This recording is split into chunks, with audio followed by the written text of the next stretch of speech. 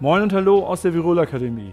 Heute wollen wir uns mal mit diesem Ford Focus befassen. Dieser Ford Focus hat ein sogenanntes Powershift-Getriebe drin und wir wollen jetzt mal eine Getriebewartung durchführen.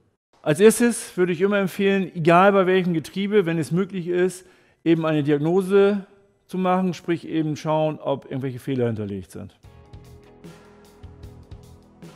Hier bei dem Fahrzeug ist soweit kein Fehler hinterlegt. Jetzt als nächster Schritt würde ich einmal das Getriebe durchschalten, um zu schauen, ob irgendwelche Geräusche aus dem Getriebe kommen. Bei dieser Überprüfung sollte man eben darauf achten, dass man jede Wahlhebestellung ca. 20 Sekunden durchlaufen lässt. Ich baue jetzt erstmal den Luftfilterkasten ab, weil hier oben auf dem Getriebe gleich die Einführschraube zu sehen ist. Das zeige ich euch gleich mal.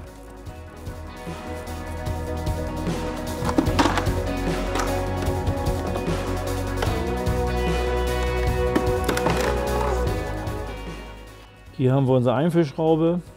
Die können wir dann jetzt auch schon beim Rausdrehen. Diese Schraube hat soweit keine Dichtung, kann aber auch wiederverwendet werden. Damit du gleich vernünftig das auch filmen kannst und auch alles sehen kannst, baue ich für dich mal eben das Rad ab.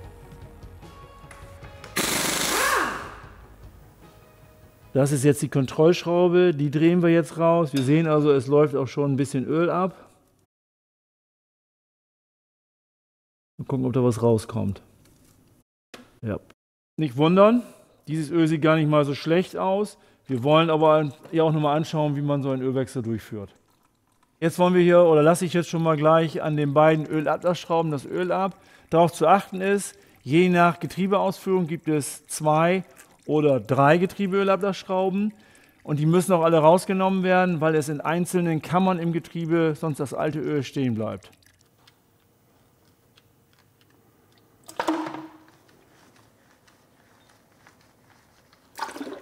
Als nächstes drehen wir jetzt den Getriebeölfilter raus, damit wir da auch gleich ein neues Gehäuse und einen neuen Filter einsetzen können.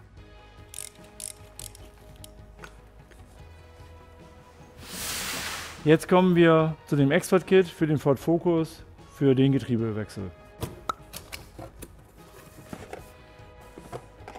So, da haben wir einmal den Filter, der erneuert werden soll das Gehäuse plus den Filtereinsatz plus die Gehäusedichtung. Des Weiteren haben wir hier 6 Liter Getriebeöl, speziell für das DSG-Getriebe, unter anderem auch für diesen Ford. Sehr gut bei uns auch noch mit dieser Abdeckung. Wenn einem dann sowas mal passiert, kann das Öl auch nicht auslaufen. Zum Befüllen des Getriebes nehme ich gerne als Praktiker dieses Befüllgerät, weil ich da am wenigsten Klägerei mit habe. Das geht am schnellsten.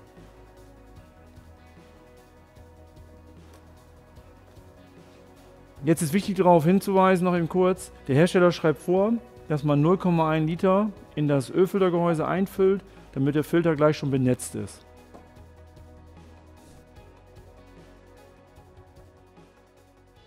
Passt hundertprozentig.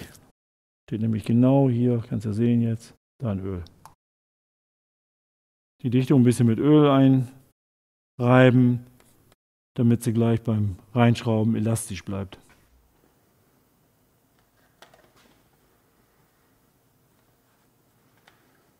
Beim Montieren des Ölfiltergehäuses ist auf das Drehmoment des Herstellers zu achten.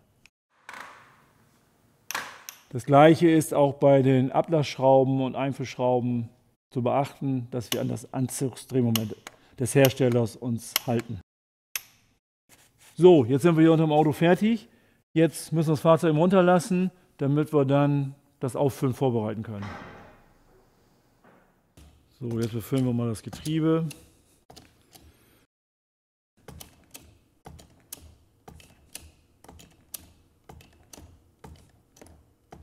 So, jetzt haben wir das Getriebeöl aufgefüllt. Es ist aus der Überlauföffnung rausgelaufen. Wichtig ist jetzt eben beide Schrauben einzusetzen, weil wenn ich jetzt gleich das Getriebe durchschalte, bei laufendem Motor würde sonst das Öl rausgedrückt werden. Jetzt brauchen die eigentlich nur, diese jedenfalls nur handfest erstmal rein, dann ist das gut.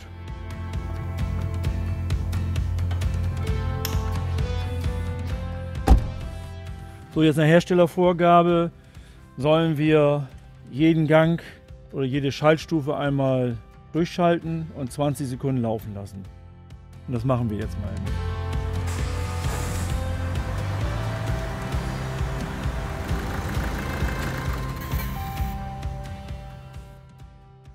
Und da läuft noch was raus jetzt. Ha, Frage, du bist gut. So, jetzt lassen wir es so weit rauslaufen, bis beim Überlauf das Öl aufhört hier rauszulaufen und dann haben wir den Ölstand, den passenden Ölstand erreicht. So, und die muss natürlich ein bisschen angezogen werden.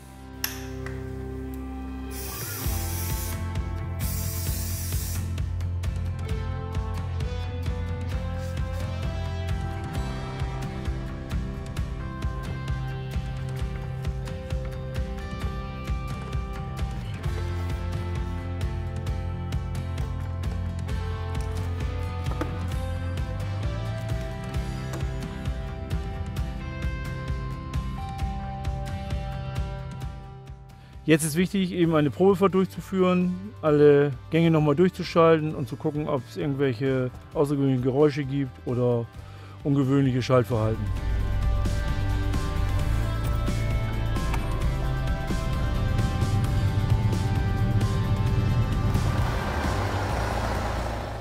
Wollt ihr noch mehr über Reparaturlösungen erfahren? Schaut auf unsere Internetseite www.expertkits.de.